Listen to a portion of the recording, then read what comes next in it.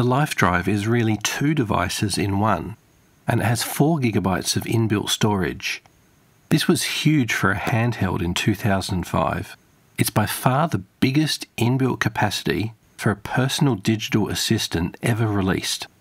But this can also be used as an external USB pocket hard drive. The Life Drive runs Palm OS with a full suite of inbuilt apps, including, interestingly, a dialer and even an SMS app. But make no mistake, this is not a phone. These functions were intended for connecting to your phone via Bluetooth. When I look at that dialer though, how could they have not wanted to make a phone into this form factor? Today I want to go inside and see that hard drive firsthand. So let's get straight into taking this apart. It's just a couple of screws, some clips and the metal backplate comes straight off.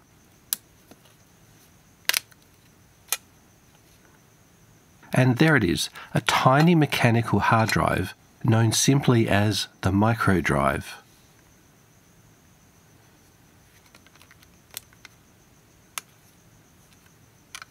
I'd better disconnect and remove that battery so I don't get any unexpected problems. Under the micro drive, there's the Intel CPU that runs this thing. I want to get this drive out of here and run some tests on it. So it's time to breach that warranty seal. There, I've done it. There's no going back now. I now need to very carefully unplug the cable from the drive.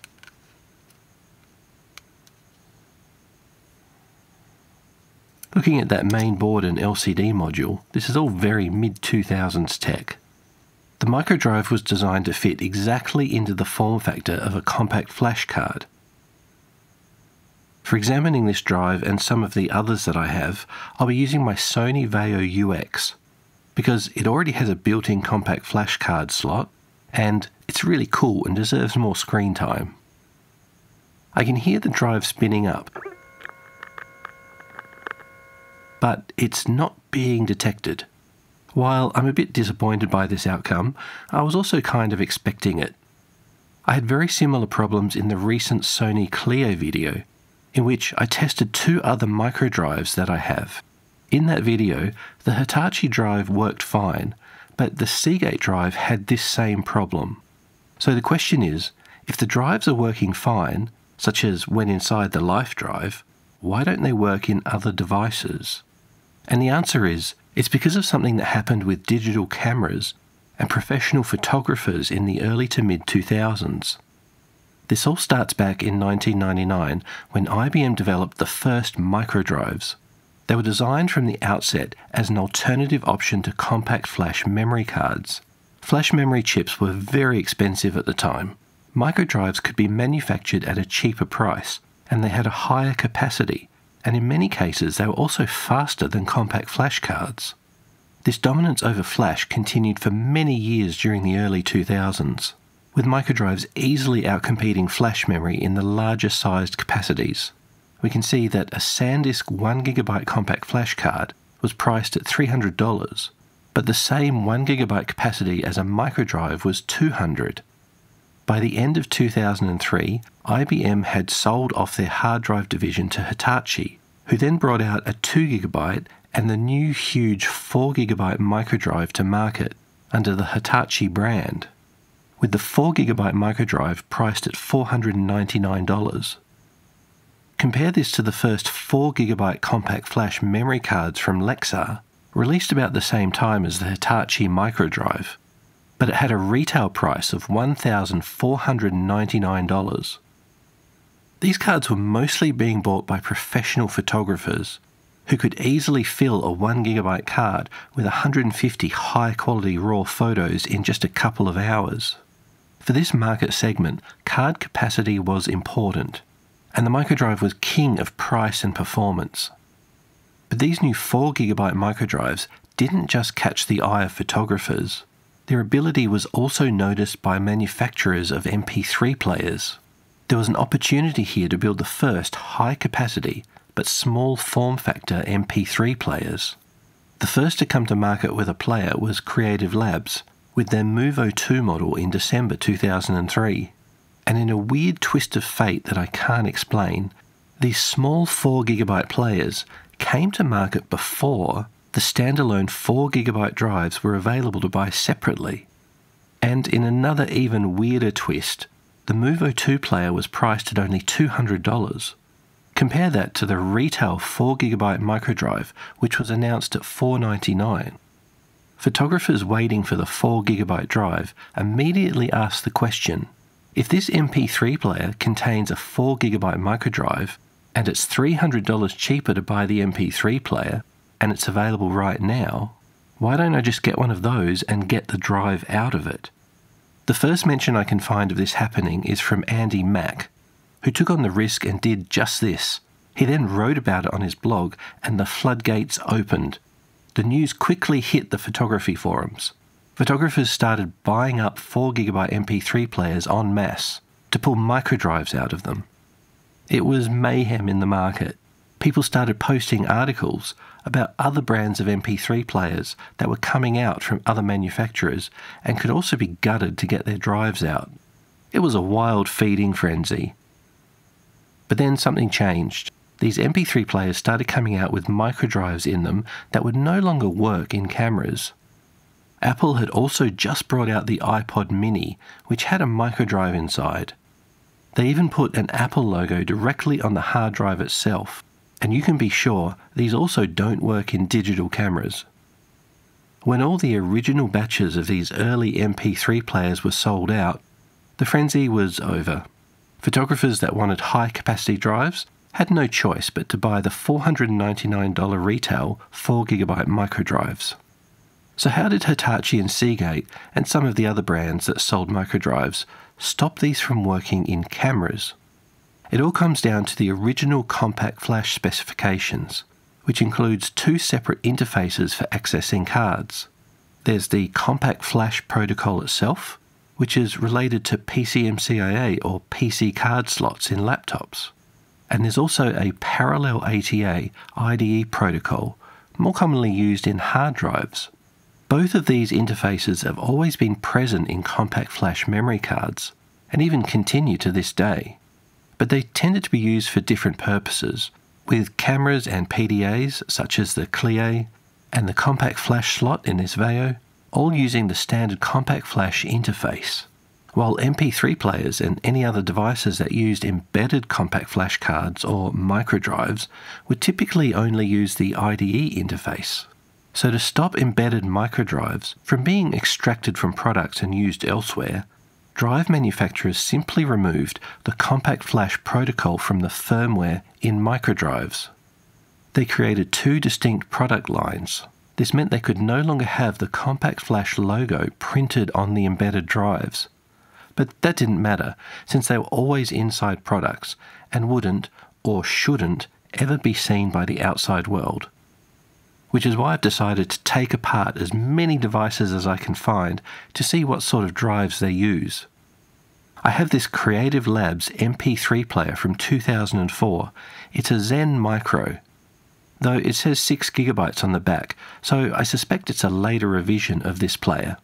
Now, I don't know if this player even works because I didn't get a battery with it, and plugging in the charger does nothing. Probably because the player is expecting to see a battery and refuses to power up without it. But I want to find out if at least the microdrive works. This player is so solid in construction. It feels so different from the Creative Zen V Plus shown in the previous video. First, there are two hidden screws under the top cover. Then I just need to carefully unlatch and unclip each section. The insides continue to show how well made this is, with its metal cage and more clips to undo. I have to get that mainboard out while being quite careful because I don't want to break anything.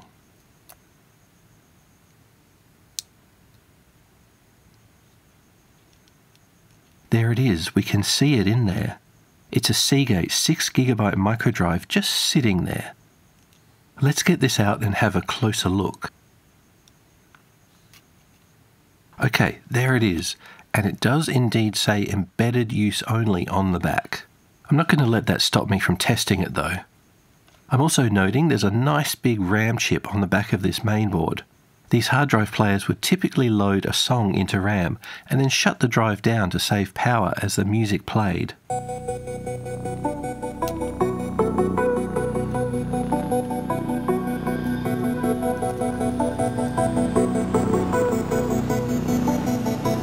Testing the drive in my Vaio, and as expected from the embedded label on this drive, it doesn't get detected using it in the built-in compact flash slot.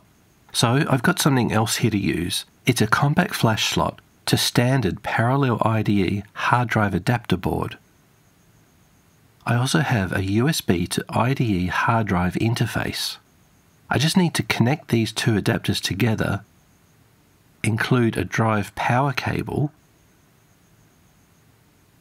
and now I can power this up and see what happens. And there it goes.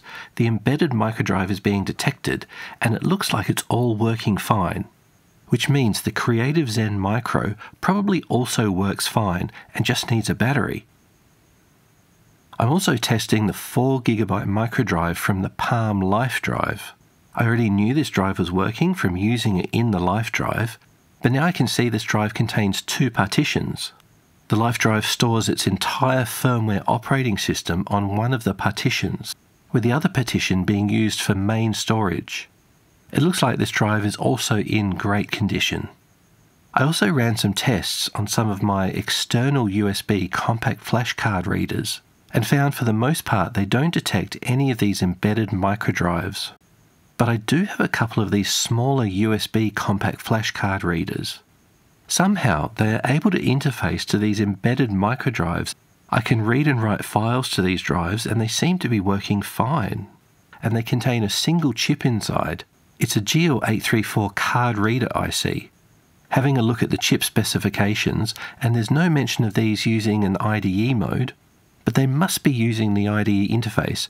I have no other explanation for what could be going on here with these. But they are a good, easy way to check embedded microdrives, though. I have one more MP3 player that I want to have a look at. It's an iRiver E10. On the back it says HDD jukebox and 6GB, so I think this must contain a microdrive. I also don't know if this player works because I didn't get the USB charging cable with this, and the player uses a proprietary connector. So I'm going to take this apart and check it from the inside out. This player was released in 2006 that was the year flash memory prices began rapidly dropping and was starting to become much more competitive with microdrive memory prices. So I'm very interested to see what we've got in here. And there we go. Sitting covered by conductive mesh tape and with rubber all around, there is the microdrive. But this one is quite different. Look at that connector. That's not a standard compact flash card connector at all. This is going to be a very different sort of microdrive indeed. I want to see exactly what type of drive this is, so I'm removing all the conductive tape. And there it is, it's a 6GB Hitachi microdrive. And wow, this is so much smaller when comparing its size to a compact flash style microdrive. With the compact flash interface having already been removed, there likely wasn't any reason to keep building these with compact flash card connectors on them. It became easier to just put a small ribbon cable connector and shrink them down. I believe this is still an IDE interface though. If only I had some other way to connect an IDE interface to this drive, I'd be able to test it directly and see if it works. But at least I can charge the player's battery now using an external charger then see if the player itself will power up and test the drive that way. These things are a real fire hazard. The protocol is always safety first. Doing a quick reassembly, and the player seems to work fine. If I can find a charging cable for this, then I've got a working microdrive MP3 player. I also have another microdrive that I want to test. It's this 4GB Hitachi that I removed from a Sharp Zaurus Linux computer in a video last year. Despite being intended as an embedded drive, it works fine in compact flash slots and readers. I'm pleased that I have at least one of the early embedded drives with the full compact flash firmware installed. This must have come from those early months of 2004 during the frenzy. I then set about doing some extensive testing on all these microdrives. I want to get a good idea of condition, including reading their smart health parameters that all drives have these days. Interestingly, when I tested any drives using my working USB card readers, even though the drive works fine with them, I can't read any smart parameter information out of the drive. I have no idea what's going on with these card readers. Back to the full IDE interfaces and the test results are in, and I'm pleased to report they all work well, except for one. It's this 6GB full retail Hitachi drive. It spins up, but it doesn't seem to work. I did extensive testing, and I believe it's because it has a faulty mechanism, or maybe a faulty controller board. I don't think this drive is ever going to work again which leaves me with only one thing left to do, and that's to take this apart and see the mechanism firsthand. I have taken one of these microdrives apart before, that was a very long time ago, and it stopped working very quickly afterwards, so I'm extremely keen to do this again.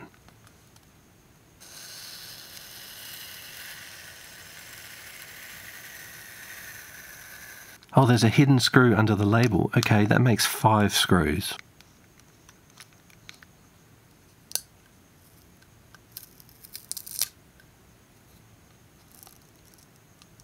Okay, there's the controller board.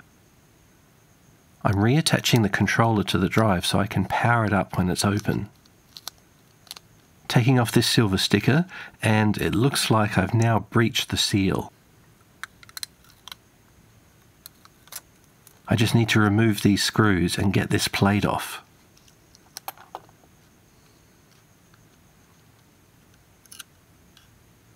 Okay, there it is. Wow, that mechanism is tiny. And it's beautiful. This is a true marvel of engineering.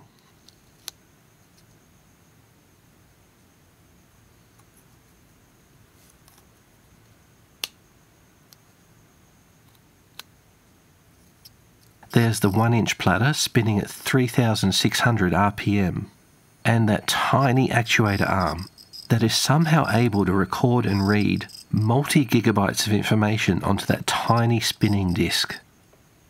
All this quickly became obsolete with the rapid drop in flash memory prices that began happening in 2006. The microdrive was pretty much wiped out the following year and soon became a relic of the past.